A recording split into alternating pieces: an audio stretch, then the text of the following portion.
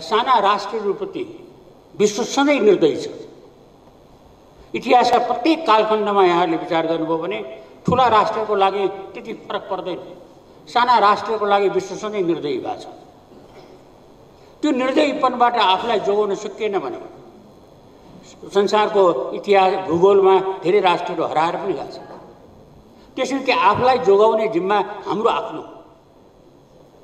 त्यो जोगाउने सन्दर्भमा विचार गर्दा एउटा कटु सत्य म यहाँहरूलाई के निवेदन गर्न चाहन्छु भने दुईवटा छिमेकीहरूको बिचमा जब सौहार्दपूर्ण सम्बन्ध हुन्छ हनिमुन मनाउन थाल्छन् नेपालको लागि खतरनाक हुन्छ।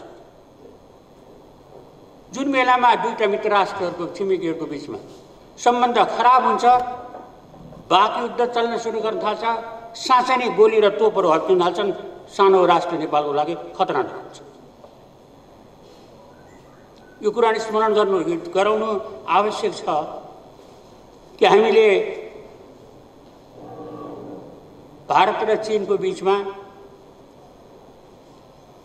वर्तमान प्रधानमन्त्री र वर्तमान चिनका राष्ट्रपतिको बिचमा जब औपचारिक रूपमा वार्ता भयो भ्रमण भए सद्भावनाहरू वृद्धि भए हनिमुनको स्टेज थियो त्यो हनिमुनको स्टेजमा गएर जुन संयुक्त विज्ञप्ति जारी भयो दुई हजार पन्ध्रमा त्यो संयुक्त विज्ञप्तिले हाम्रो लिपुलेकमाथि भारत र चिन दुईजनाले मिलेर बाँडेर खाइदिए त्यस बेलामा नेपाली कङ्ग्रेसको सरकार थियो त्यसपछि नेकपा एमालेको सरकार आयो त्यसपछि माओवादीको सरकार आयो। हाम्रा सुनाम धन्य प्रधानमन्त्रीजीहरूमध्ये एउटा प्रधानमन्त्रीले पनि आँट गर्नु भएन। भारत र चिनका नेताहरूसित यो किन यसो गर्यो तिमीहरू? मेरो भूमिलाई मलाई नसोधिकन किन यसो गर्यो?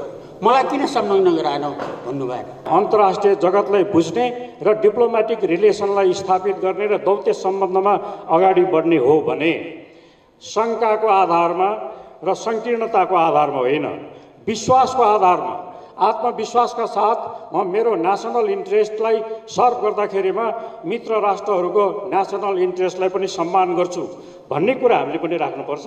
र मित्र राष्ट्रहरूले पनि हाम्रो इन्डिपेन्डेन्स हाम्रो सोभरेन्टी हाम्रो टेरिटोरियल इन्टिग्रिटी जस्ता कुराहरूलाई उहाँहरूले पनि सम्मानका साथ हेर्नुहुन्छ र त्यही अनुसारको व्यवहार गर्नुहुन्छ भन्ने कुरामा म चाहिँ आशंका गर्दिनँ। त्यसो भएको हुनाले सबैसँग विश्वासको वातावरणमा हामीले हाम्रा नीतिहरूलाई हाम्रा कार्यक्रमहरूलाई हामीले अगाडि बढाउनुपर्छ भन्ने मलाई लाग्छ।